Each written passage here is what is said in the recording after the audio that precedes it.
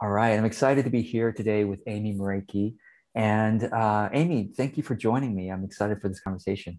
Yeah, me too. Yeah. So let me kind of share your bio with the audience, and then we'll get going and talk about how can we embody um, a more empowered self. But let me let me share your background first. So Amy is an intuitive business coach for soul-led entrepreneurs. You know that's why we're here because we are we are peers. And she's been coaching, teaching, and speaking on feminine empowerment and the art of manifestation uh, for several years now. And she teaches simple personal brand strategies to help her clients get clear on their vision and to put themselves out there and uh, if i could say attract what what you call amy your soulmate clients right yeah. Um, okay so let's see here amy also teaches her clients to transform self-doubt and to embody their next level self now so they can show up and, and be seen and feel worthy of cha- uh, creating their dreams and that's it you know embodying and creating and that's what i want to kind of get right into with you on this topic. Um, in the notes that you had sent me for for our conversation today, you mentioned that um, it's not so much what we do in in business that gets results. Obviously, we do things, but it's like more pri- primary than than the doing part is the energy in which we do it. And so, I'd like for you to kind of talk about how you like to think around uh, about this. Why is the energy important? Why is the embodying and the identity important? Yeah, and so I think the the way that I want to first approach this is just a little bit of storytelling and like my experience and how I came to um, teach on this and share about this and why I think it's so important. Is I before getting into business coaching, I was an artist and a dancer, and I had my own dance company and um, was very much interested in more feminine expression and dancing and um, costume designing. And I lived my lifestyle in a way where I followed my intuition and I followed what I would call divine guidance for moment to moment, just trusting the flow and the unfoldment of my life, like setting intentions, trusting that the right people and the opportunities would show up at the right time. And that the most important thing for me was just to trust myself, trust the universe, and um, almost like follow my bliss in a way, which is how I ended up creating that dance company. And then when I was in my mid 20s, I had a very traumatic experience where I uh, I went through a breakup and I started getting more into the deeper inner healing work and learning more about inner child work and, and healing trauma in the body and uh, self love and really slowing down and taking a look at my life and looking at things that I wanted to change, of, of areas that were maybe out of integrity. And from there, I started uh, a blog about self love and about self expression and what I was learning about masculine archetypes and feminine archetypes, and really um, learning to nurture my inner child and love all parts of myself as the whole the wholeness of who we are like when i say masculine and feminine energy i don't necessarily mean gender i mean um, you know yin and yang or uh, fire and water sort of these these different energies that are in our, our consciousness and um, I, from there, felt like this inner calling, this like purpose to help others as I was doing this inner healing work. And I felt this calling to start a business. Now, when I went and got certified to become a coach, I learned all these wonderful tools of how to heal the inner child and how to transform uh, our consciousness so that we could show up more embodied. Um, as like a leader and as our, our most confident self and feel worthy and all of that goodness. Um, but then I went into learning business strategy. And I really started to give my power away to the marketing experts that knew better. Uh, though, like that told me what I was doing was wrong and that I need to have a clear niche and a, a message and that I couldn't just trust my into like I couldn't just trust my inner guidance. I had to follow their system to make it work. And it was in that state that I gave away my power and I almost regressed a little bit. And I stopped trusting myself and I got really in my head about learning all of the tactics and the strategy and um, the marketing. And I forgot that, like, it, it's not about what we do, it's about who we're being. And when I started to like shift into that insecure, like feeling unworthy, doubting myself, that's when I actually noticed that I stopped attra- attracting people, even though I was doing all of the right things. I was had an email list, I was doing SEO, I was posting every day. But the energy behind it was I'm not good enough. I don't know what I'm doing. And I had this sort of moment where my business at the time just kind of crashed and I spiraled into self doubt. I had a dark night of the soul. I was like, I'm not supposed to do this, even though, like, at one point it felt like such a deep calling for me. Um, and I let it all go. I actually got two part time jobs. I went back to my nine to five and um, I had like a healing moment where I just, I had to be with myself and and process that grief of letting go what I thought was was the work I was meant to be doing in the world. Um, and it wasn't until actually last year when COVID hit that I lost both of those part-time jobs. And sitting in that feeling of like I like this just like this vacuum of like empty space it's like what am i here to do? And like that that deeper calling to be of service to share my gifts um, came back to me. And i synchronistically found a business coach and teacher that was teaching in the style that was so natural to me that was more follow your soul was more trust your inspired downloads was more be the energy and trust that that will attract the right circumstances for you. And within like a month of applying the things that I was already doing in my earlier years, um, I just saw massive shifts in my energy and the types of clients I was attracting, um, the work that I was called to do. My confidence skyrocketed. And I was like, right, it is to me like it is about who we're being when we show up and not about the actions. The actions are lovely, the strategy is lovely, but it should always come from um, like our identity first of I am, you know, whatever it is you're choosing to identify as like, I am a coach, I am a teacher, I am a leader, I do have something to give. That's who I am. And because that's who I am, I choose to show up as that version of me um, and give versus trying to get to yeah. prove that we're worthy. yeah, thank you. This is that's a wonderful story, and I, I love that you had that shift uh, from you know having the early experience of being in your authentic self power expression. And then kind of losing that and then coming back is a little bit like the hero's journey that you've already experienced in your life and that's beautiful. And you said oh the strategies are lovely etc well not always lovely right? Like, right, like the strategies yeah. can sometimes be kind of ugly and uh, because the energy isn't right uh, isn't aligned. And when we try things that uh, are formulaic or um, uh, you know, we see someone being successful and like, oh, well, better do it like them because obviously they know what they're doing, supposedly. Um, we we step outside of uh, our unique expression. So I thank you, thank you for sharing that. That's really that's really great. So um, say more about this. You you started touching on oh, you know, you talk about you know inner inner child, you know, and talking about the feminine and the masculine. So how do you how do you work with those? Um, I don't know if you want to first kind of define what those are first, and then kind of how, how do you work with that? Yeah. Yeah, so when I'm working with my one on one clients, they come to me with the vision that they want to create. And we really focus on getting clear on that first of who do they want to become. And I call that the future self.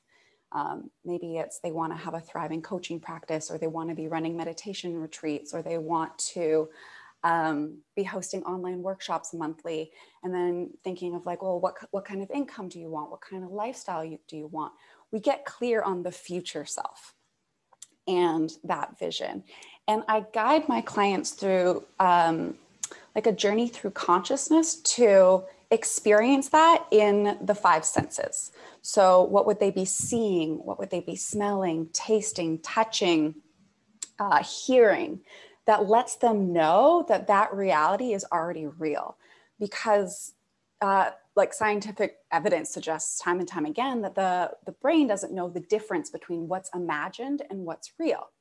So when we can put ourselves into that future reality, we can begin to train the nervous system that it is safe to experience the future. Now, what can also happen is when someone decides that is where I'm going, is it can start to kick up all of our protective me- mechanisms or fears or self doubt or judgments about ourselves or what's possible um, in the body. And that will show up as sensation. It's called the felt sense. So it might be something like, I feel a tightness in my throat, or I feel like this heat in my chest, or I feel like ungrounded in my feet. And the body will will give those subconscious clues to what's kind of going on underneath the surface that's stopping them from taking action towards the future. So if they know that they need to post something, but they're not doing it, like why? Why is that? Or if they know, um, uh, you know, they they should be emailing their list all the time, but they're not doing like why? Why are they so scared to take those actions that could be moving their business forward or their life forward? Those sensations will come up. And that gives us a chance to actually have a dialogue with those sensations, which are very often an old part of us that is scared of change because it's scared it won't exist anymore. It's scared of death for the rebirth, the old self having to die to be reborn into the new future self. Oh, there's someone in the background. Hello, background. Oh. yeah, no, I, I thought I thought there was I thought my uh, one of my pets was being let in, but I don't I don't see them, so all good. yeah. Um, and so these older parts can sometimes be called the ego, or what I like to refer to them is just an inner child or a, a younger version of us that at some point in life learned that it wasn't safe to move forward. Maybe they had an experience in school where they were bullied um, for speaking, for being who they just who they were. And so they learned in that experience that it's not safe to uh, be quirky, or it's not safe to be smart, or it's not safe to be beautiful, or it's not safe to be whatever some authentic expression was for them at that time. Their essence, like children are so deeply connected to their authentic essence, they don't even have to try they just are is who they are and we all have that inner child within us but when those things happen um, we shut down a little bit and we build a protective mechanism of like it's not safe for me to express how smart i am because then i'll get bullied as a geek so we start to hide those parts of us. And when we are choosing our future self it often will require us to step into our fullest expression which will scare the part of us that doesn't think it's safe. Um, and so, what we do in this guided journey through consciousness, this experience, is we allow the sensations to have a voice and to express their fears fully. Sometimes memories come up, sometimes uh, emotions come up, sometimes stories, limiting beliefs, fears, doubts come to the surface. And this is a good thing in session because it's allowing um, it to come up and to come out and to be seen. And I guide my clients to resource safety in the present moment inside of their body. Like, where does it feel safe in you right now? Maybe it's in their hands, maybe it's in their heart space, maybe it's in another part of them that is an archetypal energy, like maybe they have an inner mother or a higher self that can nurture and love and hold that inner child as they're going through this experience of feeling scared and expressing themselves fully, which creates um, inside the psyche like a new connection of like, oh, it is safe to be seen. You are safe here. You don't have to hold on so tightly anymore. And and when that inner child piece feels safe, we often then feel safe moving forward because we know that even if something like that were to happen again, we were to get bullied or judged, we know we can handle it. We know we can take care of ourselves. We know that we can feel our feelings fully. We know that we can come into a more empowered energy and hold ourselves, contain ourselves, and still take action, even if it's scary. So that's yeah, the inner child. That's brilliant.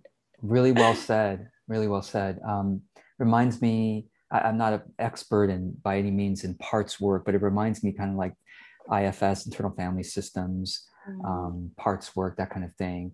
Uh, anyway, I, it's I, I love how you described it. And so I'm wondering then, and I can tell that, you know, clients who work with you get to experience that, and that's a very transformational experience. Do you uh, then give them any kind of homework or is there any kind of ongoing exercise that they that that that any of us can do to continue resourcing, I guess, our our most stronger selves? Yeah. So um I do give my clients homework, and it's usually both the inner work and then the outer action that they're taking in their life and their business. The inner work uh, is to continue practicing um, whatever came up in the surface, like in the session. So if they learned that, I'm just trying to think of an example here so it's a bit more tangible. If they learned that um, their inner child was really scared to uh, be seen. That's like the example that keeps coming up.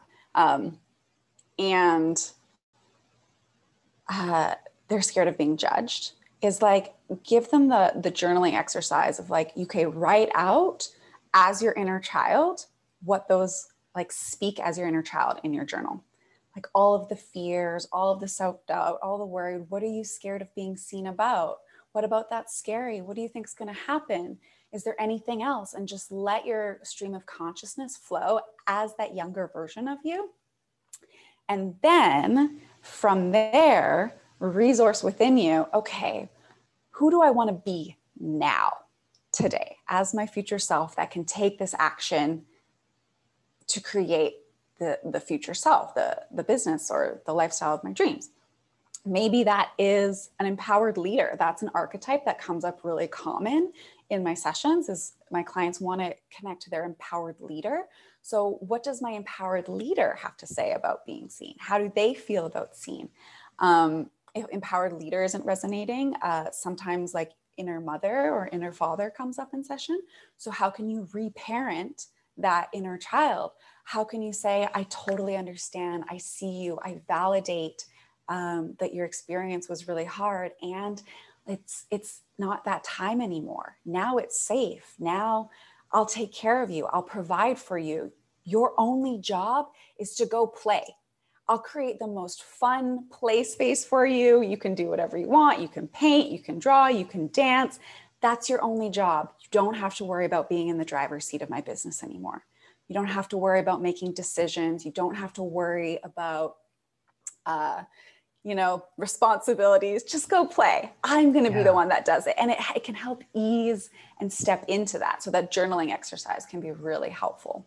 Wow, that's so interesting. So, uh, that what does that mean to create that space for the inner child to play? I mean, uh, you know, we're not talking about all right, let's clear the schedule. All we're gonna do is just play, play all day. I mean, be great. Well, it's it depended it depends on the client. So in sessions, we do sometimes find a part in their body where their inner child can live. Maybe it's in their womb or they or in their heart where there's a, a space for that um, that archetype to live and have freedom.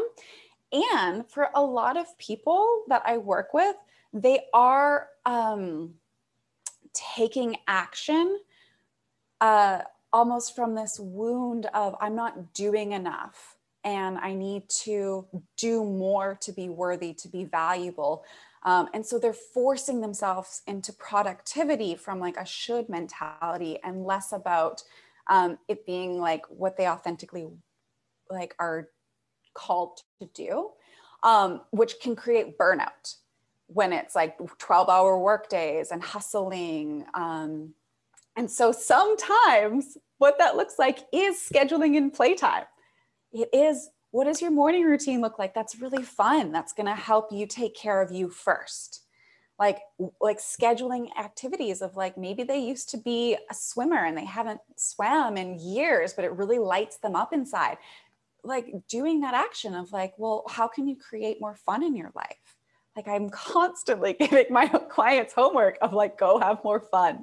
Because when you are doing the things that light you up you're connected to inspired ideas you're connected to your authentic essence you're filling your cup first so that you can go and give to others. So sometimes the homework is schedule and playtime. That's brilliant. That's uh, yeah awesome. Um uh, gosh, our, our, our, time is already uh, almost coming to a close, but I, I oh want you to just touch on maybe for a minute or two this idea of kind of like your right clients or soul soulmate clients or um, how does yeah talk about that. Like how does that happen? How does that connection happen? Um, i look at it like the analogy i always use is dating right? Like when you're looking for someone in a romantic relationship, you're aware that not everyone's going to be the right fit. And so it is really important that you express who you truly are in dating so that you can attract the right people.